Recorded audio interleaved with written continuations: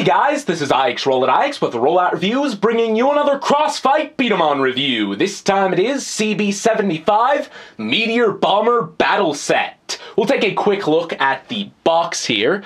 There is the front and there is the back. Now, obviously, this is a very large set. It's about two and a half feet long this way and two feet deep this way. But most of it is cardboard. So first we'll take a look at all of the plastic elements and everything else the set comes with. First off, you get 20 glass B-Dama, and that is great. The original Break Bomber, the Takara version, only came with 12, and honestly, that wasn't enough for a full-blown head-to-head match. In this set, you get just about everything you need to play a two-player game right out of the box.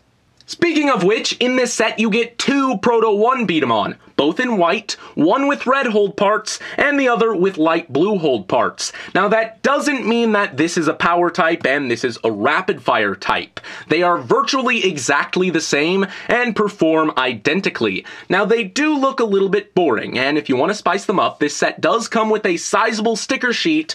On it are some stickers for these guys, so feel free to apply those if you would like. Not only are these guys identical to each other, they are also identical to the Proto 1 that comes in the original Break Bomber set. Now in that review, I didn't go into too much detail with this guy, so I'll take a closer look at these guys now. Proto 1 is the simplest B-Daman in the core change system if you can even consider him part of it. He's only comprised of about six pieces. A front part, a back part, the hold parts, the trigger, and two arms. That doesn't leave a whole lot of room for customization. You can't swap his head, his core, or his feet, and his arms don't require bolts, so you can't swap them out for anything either. However, you do have some ports at the front here, so he is compatible with all Crossfire and Crossfight barrels. Towards the back, you can also see you can attach a magazine back here. There's an appropriate amount of room, a hook down below, and a peg there, so you can attach power blocks and stabilizers. There's also a slot here, so you can attach trigger attachments as well. So he's not completely uncustomizable. We'll do a quick power test here. Load him up and get out our BSPV. So for the first test, 2.33. And for the second test, 2.08. So a pretty wide range there. He's not the most powerful, quick-firing, or accurate B-Daman, but with enough customization, he can easily hold his own against some of the more complex starters. Of course, you get three Meteor Bomber pucks in this set. They do look a little bit boring, just in solid black, so you do get three brightly colored stickers that you can apply if you would like to do so. They're pretty light, pretty hollow, but I suppose that's only necessary for them to work properly. They get the job done, and that's all I could ask for. Here is one of the mechanisms. You get two of these, one in blue and one in red. Since all of this is hidden behind cardboard, once all is said and done, we'll take a quick look at exactly how the mechanism works. You have this goal here, and there's a little lever sticking out of the top, which attaches to a blockade in this opening here. When we launch a puck in there, it will collapse that blockade and send the second puck out. This is all attached to this little slider here. It's on a pivot for ease of access, and if we slide that forward, it will re-engage the system. That's how it works, and it's pretty cool. Now you have a second lever here that can only be hit if there's already a puck in the goal, so you need two pucks in the goal to win. By hitting that, it launches up this winner's flag. Now, this looks a little bit boring. Once again, there's a sticker on the sheet if you want to make that look a bit more interesting. And really, that's it. It's a simple gravity system and a simple hinge system. Nothing too fancy going on here. So we'll do a quick demo. You can see there's a little lip on the top of one of the pucks here that goes into the uh, top of the mechanism there, there's a couple of little grooves so that it only goes in one way, just like that. If we launch the first puck in, it will send the second one rolling out onto the field, and then if we launch that one in, it will bring up the flag. A lot of the time, this system is pretty finicky. Sometimes your B-Daman isn't powerful enough to launch this in all the way, and so you're stuck in this position where there's no way of getting this puck out with just marbles. You have to pull it out, so it's it's kind of like you've already won, but you're not actually hitting it hard enough to deploy the flag, and it's it's kind of annoying. Uh, as you can see here, there's a gap at the back, so you can uh, simply pull these out. Now, specifically with the blue one, right out of the box, I had a little bit of a problem where when I launched the first puck in, it actually wouldn't deploy the second puck. Something got caught.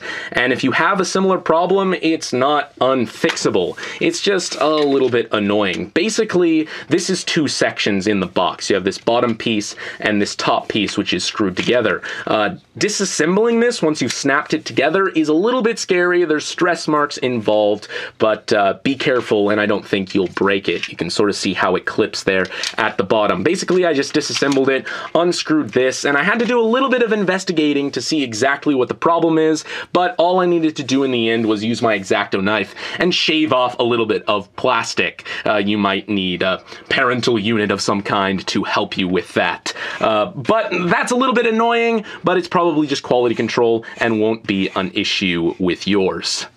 Last but not least, you get all of these tiny, tiny little plastic bits that sort of hold the cardboard arena together.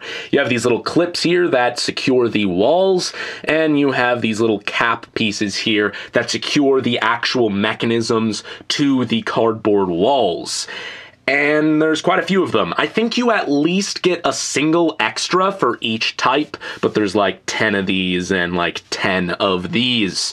So all I can really say is don't lose too many of them. Alright, so here is the battlefield all set up. There's about four or five pieces of cardboard that fold and fasten together, including these tiny little pieces back here that do absolutely nothing. They're supposed to support the battlefield from the back, but they sort of just slide in loosely, and if you move it around, they'll just fall off. So that's a little bit weird. But it's pretty simple to assemble. You'll notice a crease here and here. This center section is actually raised. If you remember earlier, there was no ramp leading up to these goals if it's not attached to the cardboard. Um, so the ramp is this cardboard section here. And it's worth noting that there is no support beneath it. So basically just don't step on it. Um, you have all of these different areas. Of course, you have the shooting area here with a, a border line. Uh, this is where your B-Daman goes. You can move it around all inside here. There's also little spaces here for your marbles. There's 12 spaces in each of the corners, so 12 B-Dama for each player. But again, the set only comes with 20. 10 for each player is is perfect though. You don't really need that whole 12. They're just there if you want them. Just like with Break Bomber, these spaces are really unreliable and marbles won't stay there. They'll just roll around. So what I like doing is just taking a little Tupperware thing, putting my marbles in there and setting it off to the side until I use them. Just keeps things tidy. Of course, once the marbles are on the field, they stay in the field and you can't put them back into the Tupperware. Uh, but until that happens, uh, it's just a nice thing to have. This second area here says reloaded okay. This is the reload area. You can't move your B-Daman into this area, but if marbles are in this area, uh, you can touch them. You can grab them and, and reload. Uh, this third area here, the battlefield itself, is completely off limits to hands and to B-Daman. That's just there for the marbles you shoot at the pucks and, of course, the pucks themselves. You have the backboard back here. Of course, you have the two goals. And then you have three little uh, sections on the battlefield itself labeled 1, 2, and 3. Those will come into play with both single player and multiplayer games. So, to set this up, of course, you place the two B-Daman in their areas. You give marbles to each player, and then you basically just make sure those sliders are locked so that the, the blockades are up. Load a puck into each of the towers, and then for the first round, you're going to set the puck on the one. So we'll do some quick demos going through all of the rounds of a game. Now usually you'd have a limited supply of marbles, like I said, 10 or 12, but for the sake of ease, in this video I'm just going to use my entire supply as I show this off. Of course, the objective is pretty self-explanatory. You try and hit this puck into the goal using your marbles. It's sort of like a modified air hockey. Let's get started.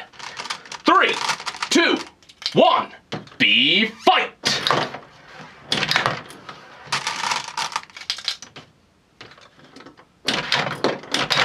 And there you go. That is essentially the first round. Now, as you saw, the tower launched a second puck and it rolled over into the opponent's playing field. That's pretty clever. Uh, like I said earlier, the pucks have a little lip around the top, and uh, on this side it's sort of facing this way, and on this side it's facing this way, so that it'll always arc towards the player who didn't score the goal. So it sort of gives them a little bit of an advantage if they think quickly, because then they can shoot at it. And a couple of times in the past, that has rolled out, and I have hit it straight into the goal, and the game keeps going into round three.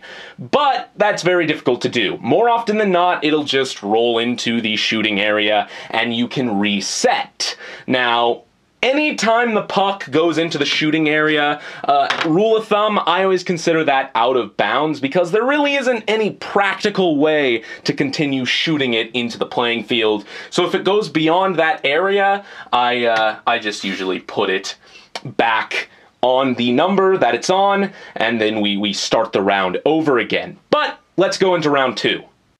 Of course, the transition between round one and round two could be instantaneous. The second it flies out of the goal, you can hit it back into play, and it continues like nothing ever happened. But if it does roll out of bounds or get shot out of bounds, any time during round two, when you reset, instead of putting it on the one space, you're gonna put it on the two space. Again, this gives a little bit of a chance for the losing player to redeem themselves, because because it's extremely easy to shoot this puck right into the goal because it's right in front of it. So as long as the losing player is quick thinking, they can avenge their mistake. Of course, the other player has that same advantage, and if they shoot theirs right into the goal as well, they win at round two. But let's give the losing player the benefit of the doubt to make things a little bit more interesting and just pretend they even the score. Just like that. Of course, it'll either arc to the center or arc into this playing field, and the game keeps going. On to round three. The three puck positions might be a little bit more clever than you think. It's sort of a scale of difficulty as the game goes on. In round one, it's sort of set to a medium difficulty. It's not that simple to shoot this straight into the goal with a single shot. On the contrary, if you have a powerful, accurate shot, it's pretty simple to actually shoot this right into the goal, giving the losing player a chance once again. In round three, it is the hardest difficulty. It's the furthest away from the goals and at the strangest angle. So we'll continue our demo from there. Three, two, one, be fight! Well, I stand corrected. That was pretty simple. As you can see, I hit it into the goal, and there's no real way of getting it out unless I pull it out. But the flag isn't up. This is what I was talking about earlier. It's a bit finicky that way. So basically I just kind of have to keep shooting at it until that happens. Sometimes it just takes one extra shot, other times it'll take several. But as you can see, now that I have two pucks in the goal, the flag has gone up, and I have won against nobody in particular.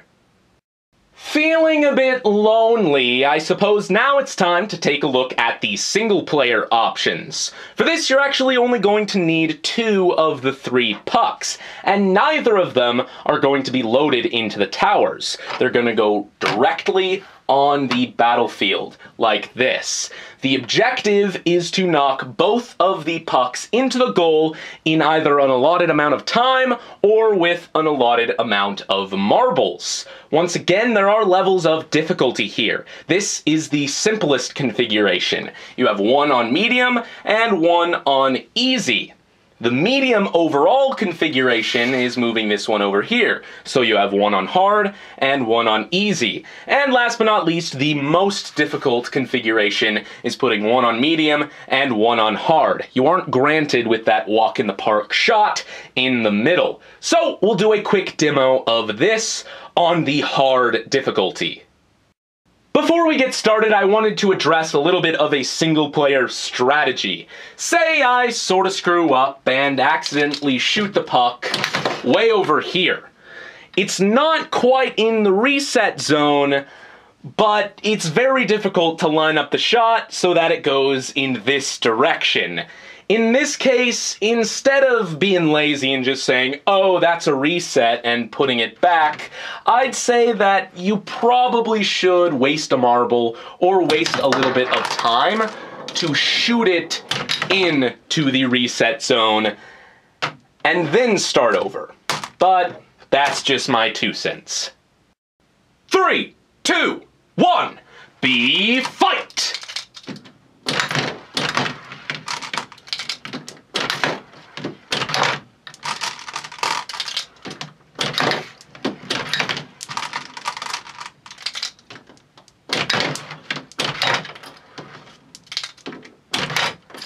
And there you go.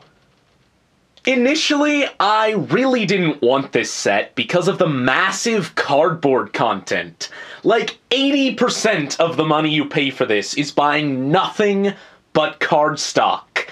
And because of this, at the time of release, online prices were extremely demanding, anywhere from 60 to 80 US dollars. When I bought this a little while back, I got it for 25 to 30 bucks, and for that price, I'd say it's completely worth it, so that's not an issue. My biggest problem with this set is something I mentioned earlier. There aren't any ramps on the Meteor Bomber towers themselves. Without the cardboard arena, they're pretty much useless. With Break Bomber, you didn't need walls to play the game. The tower works just fine without them. With this, however, the entire game is completely reliant on a flimsy sheet of cardboard. This means that if somebody accidentally steps on it, tearing or crumpling up the playing field, or if you accidentally spill your drink on it, the whole set is more or less ruined completely. Of course, at that point, you could try making a new arena yourself, or maybe salvage parts from the damaged arena to make your own ramps for the towers. But it's all a bit scary. That said, as far as the game itself functions, I honestly like this a lot better than Break Bomber. In that game, there's a wall between you and your opponent, both literally and figuratively. You're pretty much focused on your own actions, and they have little to do with your opponent's decisions. Meteor Bomber feels much more like a fast paced, head to head experience. It's friendly towards single player options as well. And in my opinion, it's a much more engaging battle set overall. So, that is about it, guys, and this is IX Roll at IX, signing off.